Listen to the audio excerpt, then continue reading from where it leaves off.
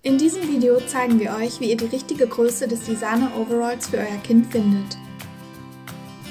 In unserem Shop findet ihr für jeden Hersteller und jedes Produkt einen individuellen Größenberater. Heute zeigen wir euch einmal im Vergleich die Größen 6268 und Größe 7480. Unser kleiner Sprössling hat eine Größe von 68 cm. Die Länge des Overalls ist sehr wichtig, zwischen Windelende und Schritt vom Overall müssen 8 bis 12 cm Platz sein, sonst wird der Overall schnell zu kurz. Für unseren kleinen Sprössling mit einer Größe von 68 cm wählen wir die Größe 7480. Der Overall wirkt auf den ersten Blick zu groß, ist er aber nicht. Arme und Beine müssen zweimal umgekrempelt werden. Designer Walk Overalls sind wahre Naturtalente und Temperaturkünstler. Sie sind schmutzabweisend, können Feuchtigkeit aufnehmen, ohne im Inneren nass zu werden, lassen sich leicht an und wieder ausziehen und sind atmungsaktiv.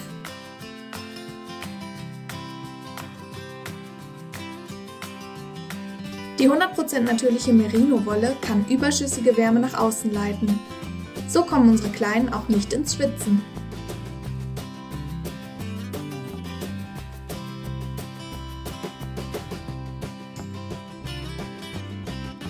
In der Babytrage ist es wichtig, dass der Overall in der Hockspreizhaltung genügend Länge im Rücken und für die Beine besitzt.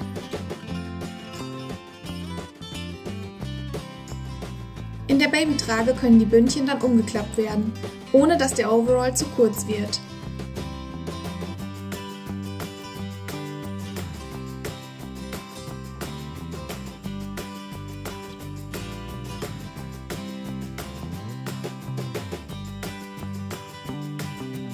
Eine Tragesaison ist mindestens sechs Monate.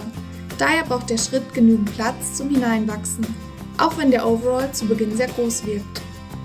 Natürlich hängt es vom Baby ab, wie schnell es wächst. Und nun der Vergleich zur Größe 62-68. Die Größe eignet sich für eine Körpergröße von 60 bis 65 cm. Hier gucken die kleinen Füße schon raus mit umgeklappten Bündchen in der Babytrage viel zu kurz.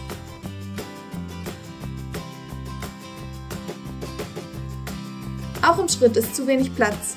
Hier wächst der Kleine leider sehr schnell raus.